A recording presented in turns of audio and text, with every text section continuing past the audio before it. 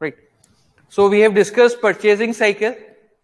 Uh, in today's lecture, we will be discussing two major points, uh, characteristics features of a purchasing manager and what kind of risk do a purchasing manager bear when he go and procure some kind of material or services right so uh, let's discuss uh, characteristics of a purchasing manager so if you are performing as a purchasing manager then you require to uh, possess some kind of features or characteristics to perform your duty well. So these are the certain list uh, which a common purchasing manager should have as their skill set or features to be a purchasing manager. The first factor which should be uh, as a feature of purchasing manager is organization. Now, when we're talking about organization, organization means uh, a purchasing manager need to be very much organized because the purchasing manager has to coordinate with various departments and various parties. Until and unless a purchasing manager is organized, he cannot perform that activity very well.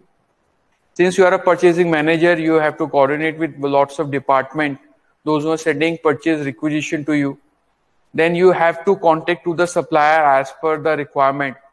Since you are dealing with the purchasing of entire company and company require lots of consumables and materials so they may be requiring stationery they may be requiring raw material for their production they may be requiring fuel so uh, company require lots of material lots of consumables lots of spare parts you require some uh, services of technical uh, experts uh, to correct your machinery. You require services of some consultant to advise regarding factories act. Getting point. So you need to you need to coordinate with various departments and uh, you need to acquire lots various kinds of goods and services for the organization.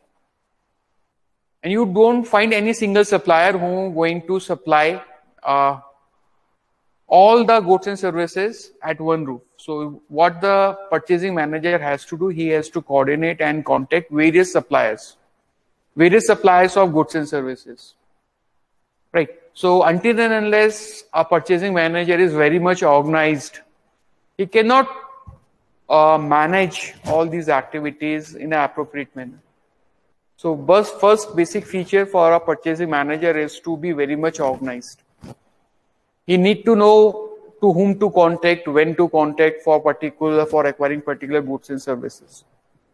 So being an organized one is a basic elementary feature of any purchasing manager. Second feature which a purchasing manager should have is a knowledge of government regulations. So why knowledge of government regulations do a purchasing manager require? Uh, does it make any kind of sense uh, if one don't have, have any kind of government regulation knowledge how come it impact the performance of a purchasing manager? Uh, since when we are going and manufacturing uh, lots of goods and services and uh, uh, government have uh, certain rules and regulations that certain raw material should specific kind of raw material can be only utilized like if uh, um, like i'm going to give you an example. Uh, if you want to uh, like in us in us uh, uh, they are having a specific requirement. If a product uh, contain chlorine okay so if a product having a quantity of chlorine in their in the product so they don't allow that particular product to be transported into us so when a purchasing manager uh, going to acquire a, or to procure a product, so they need to confirm it as per the government regulation that chlorine is not present in the product. If chlorine is there in the product, so they cannot purchase it because government don't allow to purchase a product which has chlorine in it. In the same sense, uh, when you are performing as a purchasing manager, you need to be very much aware of what government has prescribed what composition of material that can be utilized in manufacturing, what are the products or chemicals that has been restricted by the government? And you need to make sure that all those kinds of material all those kinds of chemicals are not utilized in manufacturing process. Is this clear? You are into suppose you are into manufacturing of some product which contains cotton. And if you manufactured 100% cotton product. So government going to give you subsidy. So being a procurement manager you need to make sure ki if i am going to manufacture product of 100% cotton so if i am acquiring more cotton and the uh, company is going to get kind of subsidy from the government.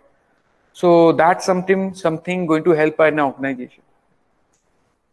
Getting point? So in the same manner uh, there are lots of government regulations right? Uh, you need to comply with the factories act compliances so to make sure that the company is uh, complying with the factory act compliances so i'm having an appropriate consultant those who guides our company or the professionals of the company to how to make sure that all the provisions of the factories are being complied with.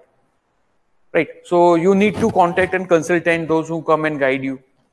So for that, you need to know a government regulation. So knowledge of government regulations is very much when you're going and working as a purchasing manager. Right. So same front, uh, like in recent time when I am purchasing something, uh, GST is applied when I am going to pay GST or अगर मैं goods uh, acquire करो if I am acquiring goods, uh, uh, it's coming from other state or other district then e-way bill is required then e-way bill should be there an appropriate e-way bill should be there. E-way bill make sure that the what quantity what quality and what amount of goods are being transported from one district to another district or from one state to another state right? So government regulation knowledge of government regulation that e-way bill is there appropriate e-way bill is there it has been generated within 24 hours. All those rules and regulations should be complied. So purchasing manager make sure that all those things are there. If suppose e-way bill is not there or distorted e-way bill is there or e-way bill is generated before 24 hours from the dispatch of the goods. So what going to happen? You have to make penalty. You have to pay penalty since someone is going to stop your vehicle and asks to give reason why e-way bill has been generated before 24 hours of dispatch of the goods right so when you are aware of that this is something that you need to comply with so the purchasing become very easy next feature uh, purchasing manager should have is knowledge of various materials. Right. So you must require you require uh, lots of material for your manufacturing. Since i'm giving you an example of textile if you want to manufacture sportswear so there are lots of textile is there. Indian manufactured textile is there, China manufactured textile is there, some kind of textile is manufactured in Bangladesh also. Right. So knowledge of material, what material can be utilized for what for what particular purpose. So that something is very much essential. Right.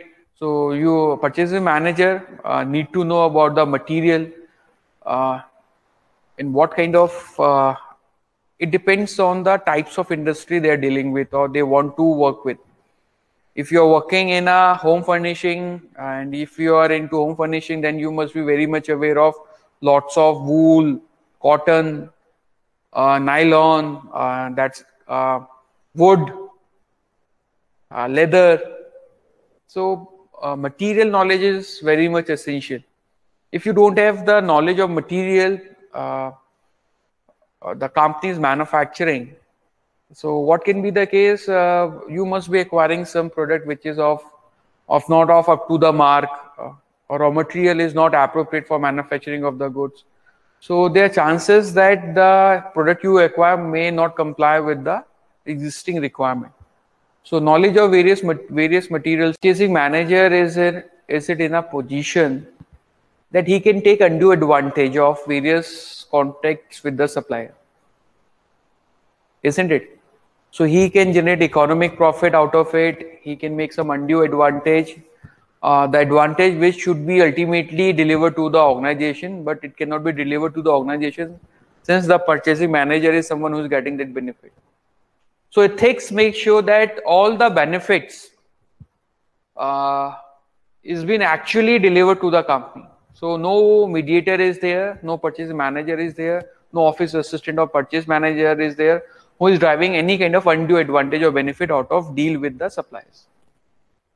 So ethics plays an important role. To be a very uh, professional purchasing manager, you need to make sure that you comply with the ethics.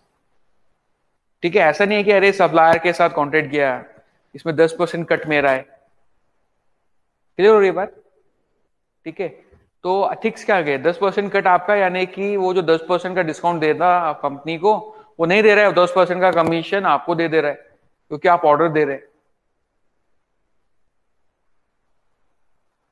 So what it says purchasing manager should follow ethics initiative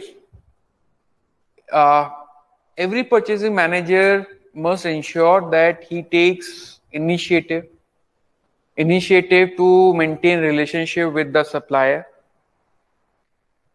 getting point initiative to manage and have a proper system in the organization so that the procurement process goes on smoothly.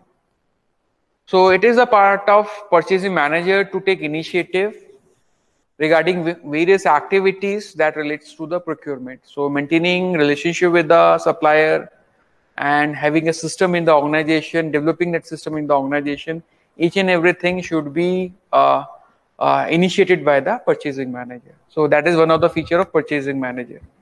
Clear? Eh? Uh, next feature we have is trading. Trading or negotiation. We can have word negotiation over here also. So it is a basic feature of purchasing manager to be a good negotiator. Right. So if you are going and purchasing and if you cannot negotiate, if you cannot negotiate, uh, that means uh, uh, you're not a good purchasing manager. To be a good purchasing manager, you need to be a very good negotiator. I can quote you one example. I have experienced how the negotiation happens, how you get benefit out of negotiation.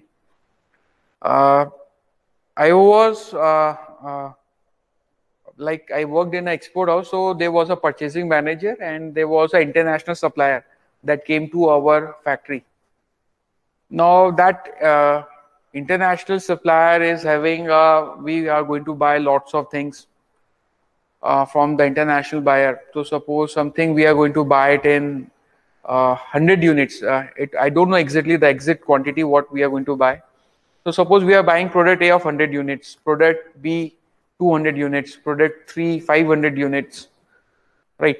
So suppose we are buying three types of raw material from our supplier. And product A 100 units, product B 200 units and product 3 500 units. Product A price, uh, suppose supplier quoted price for product A 100 rupees per unit, you said it okay. He quoted 150 rupees for uh, Product B, you said it okay. He quoted 200 rupee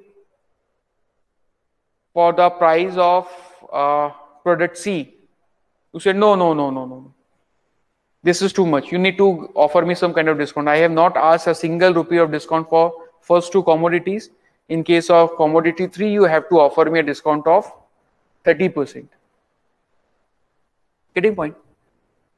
So he asked for the discount of 30% and uh, since the supplier is bound to do so because we have not asked a single rupee discount for first two units.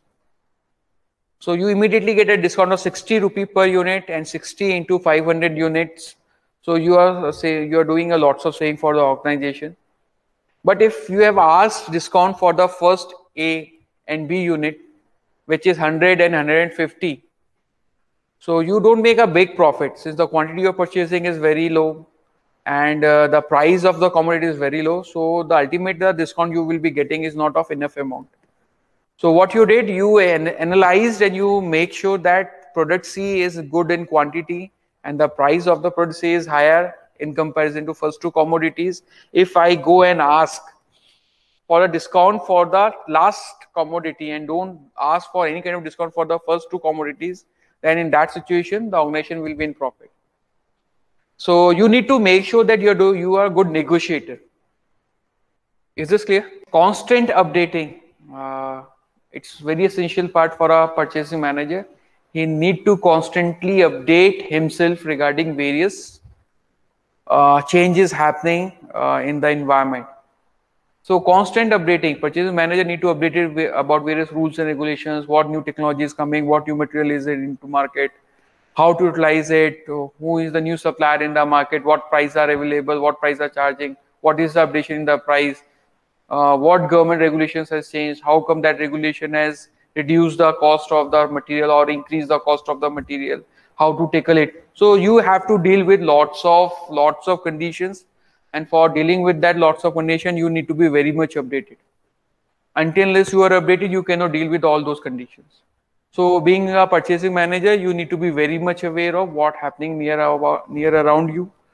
Getting point. So what regulations and how that what change in regulation is happening, how come that change in regulation is going to benefit your organization and how you're going to take advantage out of it. All those things need to be taken care of. So that is these are the features of a purchasing manager.